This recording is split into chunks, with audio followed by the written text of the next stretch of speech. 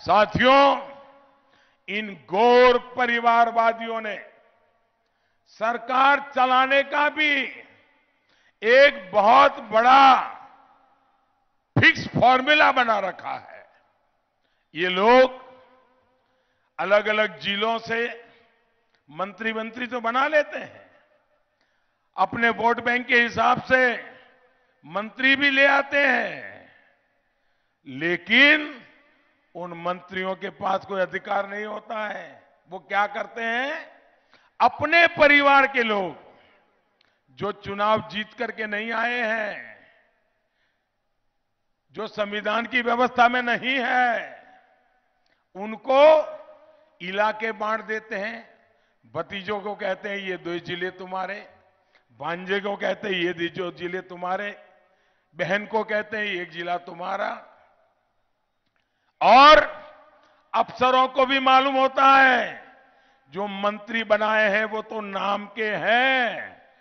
असली मंत्री तो परिवार में जिनको बनाया है, सब कुछ उसी को। ये सुपर मिनिस्टर मिनिस्टर के ऊपर सुपर मिनिस्टर, वो परिवार का होता है। फिर जो विभाग होते हैं, खनन का काम, बांजा देखेगा हेल्थ का काम भतीजा देखेगा। विभागों को भी परिवार के सुपर मिनिस्टर को बांट दिया जाता है। और इसलिए नीचे सरकारी तंत्र को भी मालूम होता है। कोई काम बाम करने की ज़रूरत नहीं है। जनता का भला करने की ज़रूरत नहीं है। बस इस सुपर मिनिस्टर को संभालो। अपना सीआर ठीक रहेगा। अच्छा अच्छा पोस्टिंग मिलता रहेगा। और इसलिए सरकारी तंत्र भी बर्बाद हो जाता है। भाइयों बहनों, इस तरह चुपचाप परिवार में बैठे बैठे लोग सरकार में सुपर मिनिस्टर के नाते सारा कब्जा करके बैठ जाते हैं।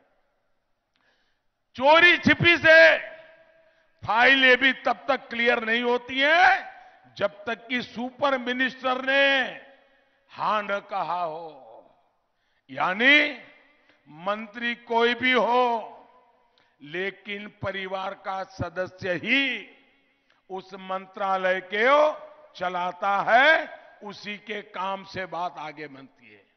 भाइयों बहनों, क्या ये लोकतंत्र के लिए, संविधान के लिए, सामान्य मानवी की आवश्यकताओं की पूर्ति के लिए ये रास्ता उचित है क्या? भाइयों बहनों और इस सब परिस्थिति में वहाँ के अधिकारियों को परिवार का सदस्य ही कंट्रोल करता है। ट्रांसफ़र पोस्टिंग भी वो सुपर मिनिस्टर कहेगा तभी होगी। जो संविधान के मर्यादाओं के बाहर बैठा हुआ है, भाइयों बहनों, वही सुप्रीम होता है।